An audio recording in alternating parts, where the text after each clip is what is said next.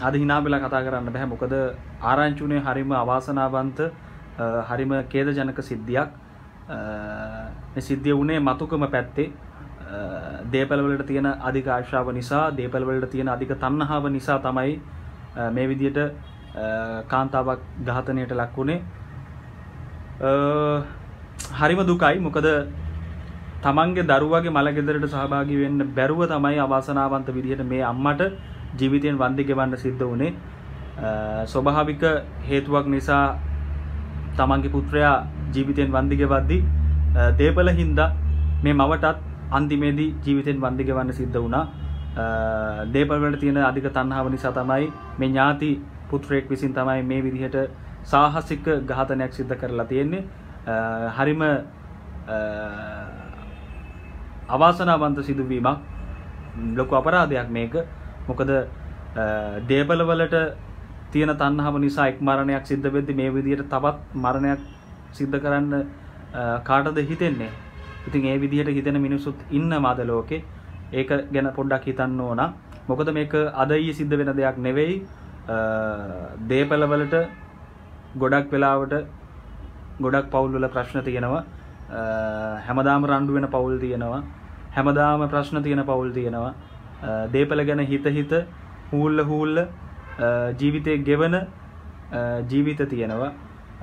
අපේ රටේ සමහර ප්‍රශ්නවලට මූලික හේතුව එහෙමත් නැත්නම් රණ්ඩු වෙන්න ප්‍රශ්න ඇති කරගන්න මරාගන්න ප්‍රධාන හේතුව දේපල බවට පත් වෙලා තියෙනවා.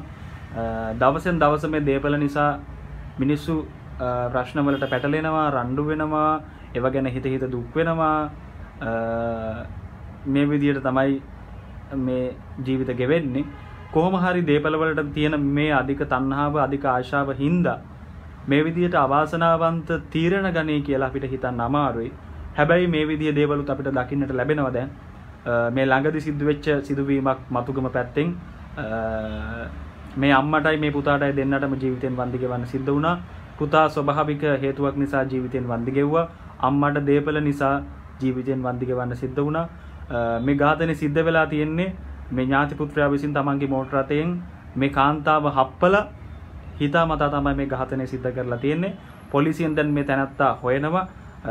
මේ පැත්තෙන් පැනලා ගිහිලා තියෙනවා මේ ගමෙන් මේ පුද්ගලයා මේ ජනතාවගේ සහාය පතනවා පොලිසිය මේ තැනත්තා පිළිබඳ තොරතුරක් දන්නවා නම් ළඟම තියෙන පොලිසියට දන්වන්න කියලා කොහොම හරි මේක හරිම අවාසනාවන්ත සිදුවීමක් මේ විදිහට දරුණු තීරණයක් ගනී කියලා ඔයාටවත් මටවත් හිතා ගන්න බැහැ. මට ආරංචි වුණ හරිම කනගටුදායක සිද්ධියක් තමයි මේක. මොකද මරණයක් සිද්ධ වෙද්දී තවත් මරණයක් මේ විදිහට කරන්න පුළුවන් කාටද? ඉතින් මිනිසුන්ගේ හිත්වල තියෙන මොනවද කියලා හිතන්න වෙනවා.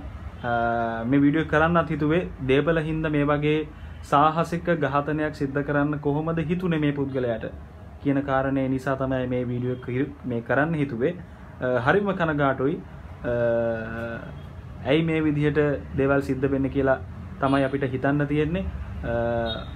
යම් කිසි ප්‍රශ්නයක් තියෙනවනම් කතා බහ කරලා විසඳ ගන්න පුළුවන්. අනික දේපල වලට මේ විදිහට මරා ගන්නවා කියන්නේ මොනතරම් පහත්ද අපේ රටේ මිනිස්සු? තමන්ගේ පුතාගේ මළගෙදරට සහභාගී වෙන්න බැරුව තමන්ගේ පුතා ගෙදරට තමන්ගේ දේහය පුතාගේ ගේන්න ගේන්න ගේන දවසේ මේ විදිහට මැරෙයි කියලා මේ කාන්තම හිතන්නේ නැතුව ඇති. කොහොම හරි මේ විදිහට වාහනෙන් හප්පලා මේ කාන්තාව මරලා තියෙනවා. ඉතින් හරිම අවාසනාවන්ත හරිම කනගාටුදායක සිද්ධියක්. මේ විදිය දේවල් ආපහු අහන්න දකින්න නොලැබෙන්න ඕනේ.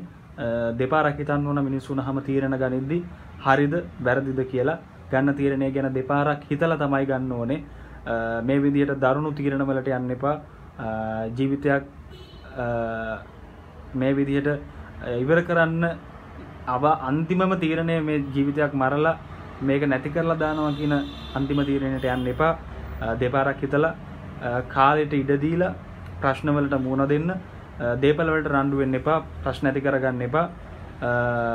හැමෝම එක්ක සතුටින් ඉන්න හැමෝම එක්ක කතා බහ කරලා නෑදෑයෝ එක්ක හොඳින් ඉන්න. අපි ටික කාලයක් ජීවත් වෙන්නේ මේ හිටියා. අද මැරෙයිද කියලා අපි දන්නේ නැහැ.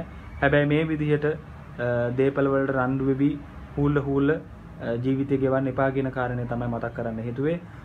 මෙච්චර මට කියන්න තියෙන්නේ දේපල වලට මෙච්චර කෑදර වෙන්න එපා කියන එක තමයි ආපහු ආපහු කියන්නේ. ප්‍රශ්න ඇති කරගන්න එපා දේපල නිසා මරා ගන්න එපා දේපල නිසා. මේක හරිම අවාසනාවන්ත සිදුවීමක් නිසා තමයි මේක තව කෙනෙක්ට නොවෙන්න ඕන නිසා තමයි මේ විදියට වීඩියෝ එකක් කළේ. මේකයි සිද්ධිය. මේ ගැන තවත් දෙයක් මට ආරංචි වුණොත් මම කියන්නම්. මොකද ඔබටත් කියන්න තියෙන්නේ මේ දැන් මේ පුද්ගලයා මේ පැත්තෙන් පැනලා ගිහිල්ලා තියෙනවා. පොලිසිය සහාය පතලා තියෙනවා. මේ තැනත්ත පත්තරංගුඩ ගන්න සහයෝගය ලබා දෙන්න කියලා. යම්කිසි තොරතුරක් දන්නවනම් ළඟම තියෙන පොලිසියට දැනුවත් කරන්න කියලා පොලිසිය කියලා තියෙනවා. එහෙනම් ඒ පණිවිඩයත් කියන ගමන් මේ වගේ දරුණු අපරාධවලට යන්න එපා. මේ වගේ දරුණු අපරාධ වෙන තැනට වැඩ කරන්න එපා කියන කාරණේ මතක් කරන ගමන් තමයි මේ වීඩියෝ එක හරිම කනගාටුදායක ලෙස ඉවර කරන්න හේතුවේ. ලස්සනට ඉන්න hina වෙලා ඉන්න. ජය වේවා.